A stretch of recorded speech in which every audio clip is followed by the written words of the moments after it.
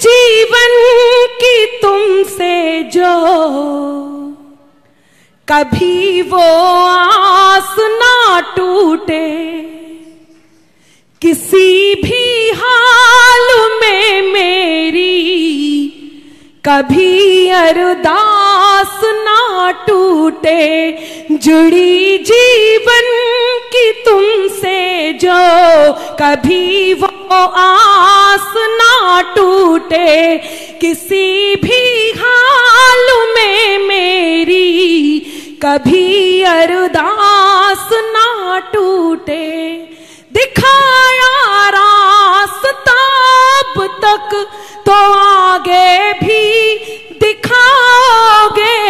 दिखाया रा चौथी पंक्ति पे, हाथ तैयार हो और बात सही हो तो गुरुदेव तक, गुरु के चरणों तक, आपकी करतल ध्वनि और मुझे आशीष बन के पहुँचे। दिखाया रास्ता अब तक तो आगे भी दिखाओगे। मेरे ईश्वर भगवन मेरे ईश्वर, मेरे भगवन, मेरा विश्वास ना टूटे। मेरे ईश्वर, मेरे भगवन, मेरा विश्वास ना टूटे। मेरे ईश्वर, मेरे भगवन, मेरा विश्वास ना टूटे। आप इतना अच्छा सुन रहे हैं कि मेरा मन है कि चार पंक्तियाँ और सुनाओ यदि आपकी अनुमति हो, चाहते हैं? तो आज ये मान के चलिए कि अनामिका बोल रही है और आपके दिल की बात है जो सीधे गुरुदेव तक पहुँच रही है। क्या बात है? सुने। जो कानों तक नहीं पहुँचे, वही अल्फाज मत होना, जो कानों तक नहीं पहुँचे, वही अल्फाज मत होना, जिसे दिल जान ना पाए, कभी वो राज मत होना।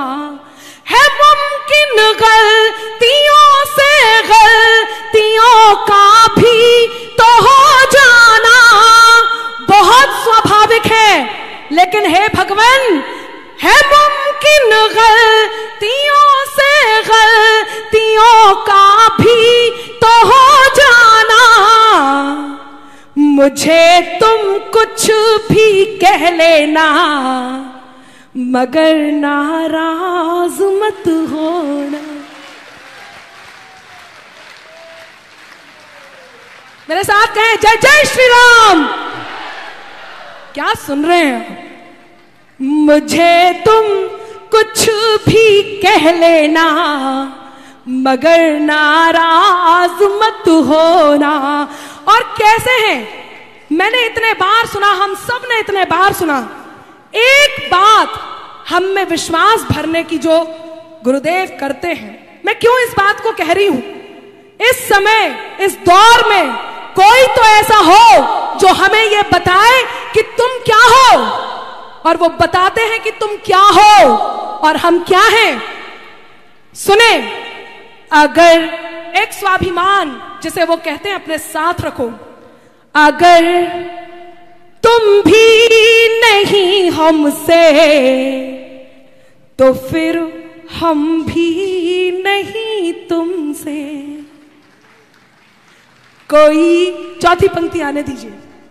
कोई ये सिखाया जाता है ये हमें बताया जाता है। ये हमारे आत्मविश्वास, हमारे आत्मसम्मान और हमें उस ईश्वर से जुड़ने का जिसकी हम खुद कृति हैं, ये वो बल है जो हमें दिया जाता है। कि अगर तुम भी नहीं हमसे तो फिर हम भी नहीं तुमसे। कोई खुशियाँ नहीं तुमसे। जो कुछ है केवल उससे है।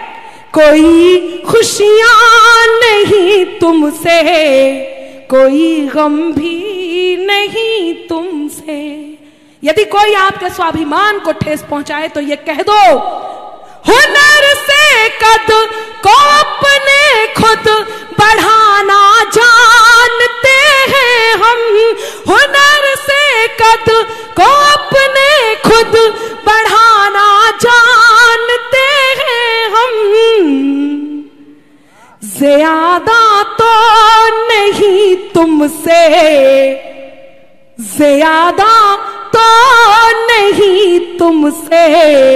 मगर कम भी नहीं तुमसे, ज़्यादा तो नहीं तुमसे। योगेश जी, मैंने आपकी हर बात सुनी। मतलब नहीं, जे सोच रहे कि हम जैसे बुंदेलखंडई के नहीं होवे, हमें खुद आउट, जा कैबो के ठटरी बाँध दें। कि ऐसे ज़्यादा गर्राओ जिनो। हाँ, उंडन घाई खींच दे भाई। जे का सोच रहे थे? कुर्रू लगा के भग ले। हम नहीं पकड़ पे। हाँ तो सुन लो दादा। क्या है सत्य सनातन? जो इस मंच से जाना मैं उस गीत को आपके बीच रखना चाहती हूँ। सुर के साथ मैं ट्रैक के साथ गुरुदेव से अनुमति लेती हूँ। और मैं ट्रैक के साथ उस गीत को परफॉर्म करना चाहती हूँ। अभी अभी अभी अभी अभी। मैं बता दूँगी बता दूँगी। अति उत्साह में है ये भी। ये हप्पू जी का कमाल है। कई बार अति उत्साह में हो जाते हैं। शुरू से कर देना जी। मैं पहुँचती हूँ।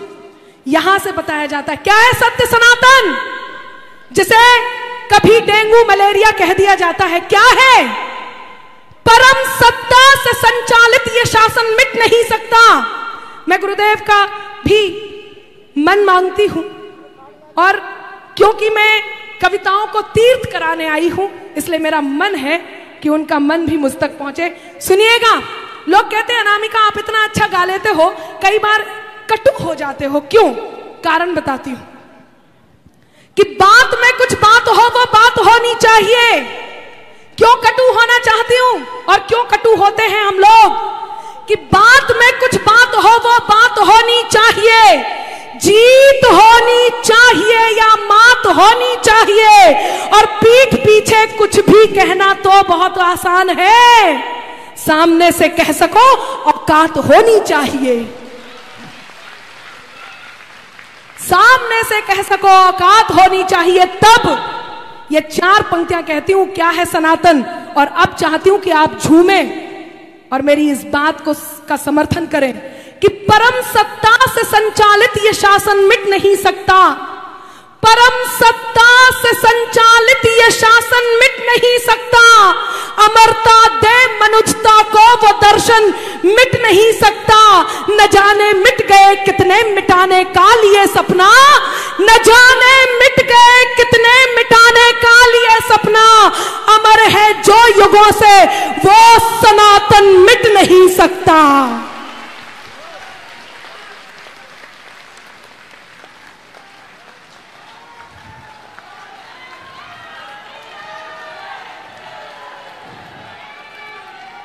अमर है जो युगों से वो सनातन मिट नहीं सकता। अमर है जो युगों से वो सनातन मिट नहीं सकता, क्योंकि समाहित प्रेम हो जाए, कहाँ फिर बैर उठते हैं? जहाँ हो रास्ते तेरे, वहीं को पैर उठते हैं। ये सच्चाई की ताकत है, हो गहराई भले कितनी। लिखा हो राम का जो नाम, पत्थर तैर उठते हैं। लिखा हो राम का जो नाम, पत्थर तैर उठते हैं। लिखा हो राम का जो नाम पत्थर, कैसा दृश्य रहा होगा जब भगवान श्री राम के प्रतिष्ठा का समय था, उनके मंदिर के निर्माण के बाद वो 22 22 तारीख का समय था। मैं चाहती हूँ मैं इस गीत के साथ अपनी आवाज़ भी साथ में दूँगी, उसके साथ ही आप गुनगुनाऊँगी भी, और मैं चाहती हूँ इसको आप भी झूमें और झूम कर सुने और उस दृश्य को याद करें। वो दृश्य भगवान श्री राम किस प्रकार से सिंहासन पर विराजमान हुए। अब मैं चाहती हूँ कि उस गीत को लगा दिया जाए।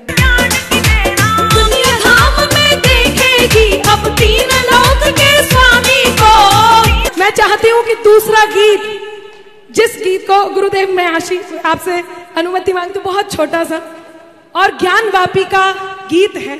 और मेरा मन है कि वो गीत इस मंच पर तीर्थ करे तो आपकी एक बार अनुमति मिल जाए। मैं केवल उसका पहला एक बंद मैं चाहती हूँ कि यहाँ पर हो। और क्योंकि इस मंच से भगवान शिव के लिए, ज्ञान वापी के लिए हम सबने कहीं ना कहीं अपनी मन्नत मांगी है तो मैं इस गीत के माध्यम से उस मन्नत को पूरा करना चाहती हूँ। आप सब झूमने के लिए तैयार हो और ज्ञान वापी गीत को एक बार चला दीजिए। सबसे लास्ट में राम भक्त ही राज करेगा दिल्ली के सिंहासन पर। वो कोई भी हो सकता है। कितने लोग हैं जो सुनना चाहते हैं और से कह करके मैं जाती हूँ। सब झूमिएगा। लास्ट में उसको लगा दीजिए। और हम सब एक प्रार्थना करते हैं कि सत्य सनातन की छाया हो शासन पर। भारत में संकल्प लें कि केवल और केवल सत्य सनातन हो और उसी सत्य सनातन की हम रक्षा करें, उसकी पूजा करें, उसे माने, उसे जाने, इसे चला दीजिए। जय कर। श्री राम, जय श्री राम, जय श्री राम, जय श्री राम, जय श्री राम, जय श्री राम, जय श्री राम। तो कहे के एक भोली भाली सी सूरत में भगवान मिला है और जो लोग यहाँ बैठे हैं, वो धन्य हैं। इस बात का प्रमाण ये है कि भरी झोली सदा मेरी। मिला सौगात से ज़्यादा। क्या सच है या नहीं? तो सुने, भरी झोली सदा मेरी मिला सौगात से ज़्यादा। सुनहरे दिन से ज़्यादा और सुहानी रात से ज़्यादा। सुनहरे दिन से ज़्यादा और सुहानी रात से ज़्यादा। मेरे ईश्वर, तेरा आभार हूँ। मेरे ईश्वर तेरा आभार बारंबार करती हूँ।